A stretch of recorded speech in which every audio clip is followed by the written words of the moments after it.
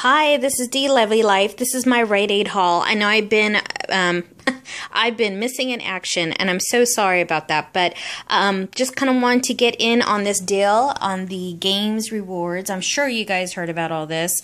Um, I'm a little bit late in the game, but I'm hoping I'm going to get either the spend 100, 150, or 200. Hopefully, um, I haven't really been couponing for the last six months, so thank God to my stockpile. But anyways, so let's get started. So these are on sale for um, $3.99 each. If you spend 20, you get back $5 in up rewards. I had used a um, buy one, get one free coupon that came out in last Sunday's um, newspaper. So that took off $3.99. I also loaded a $1 off manufacturer coupon to my card, which they did deduct. I also had a manufacturer coupon that came in Sunday's newspaper, which was $2 off. And then I also watched a Rite Aid video value so I printed that coupon. So actually, without coupons, these were $7.98. After my coupons, it was $7.99. So it was one penny money maker. I also want to do the Bayer and a Aleve. This is one thing that did kind of go low in my stockpile of all things. Um, at my store, the Bayer was five seventy nine, and then the second one at half off was two eighty nine. So it came out to be eight dollars and sixty eight cents. I used a five dollar off coupon. I only had one, so that came out to be three dollars and sixty eight cents for the for the Bayer. The Aleve at my store, the first one was seven dollars and 69 cents and then $3.84 for the second one since it was half off. So it came out to be $11.53. I used two coupons, a $5 off and a $3 off um, for those. So it came out to be $3.53. So for the four of the aspirins, it came out to be $7.21, but because I reached a $20, I received back $6 in up rewards. So really, it was $1.21 for all four boxes. So that was a great buy. And I'm hoping that I'm going to reach one of these three so I will even receive more money back. So that should be even cheaper. The Trident, these are on sale for um, a dollar each, which is um, if you buy three.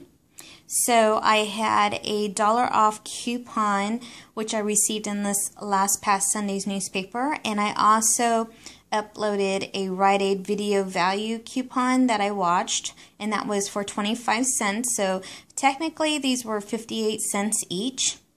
The um, NYC makeup um, got two lipsticks here, and these were 99 cents each. So you buy one, get one half off. So it come out to be $1.98. And then you receive back a dollar in up rewards. And these are part of the um, up rewards games. So that was a plus. The next um, one I did was the Advil. These are on sale for $5.99. There is an in-ad coupon that was in the um, in the Rite Aid ad and um, that one there was, uh, let's see, $3 off.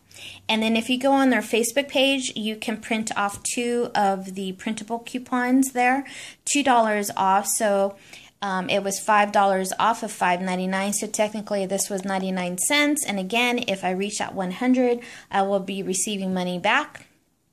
The last thing that I wanted to do was the Finish dish, dish detergent. These here were $3.99 at my store, minus $2.15. I believe it came out to be $1.84 for that.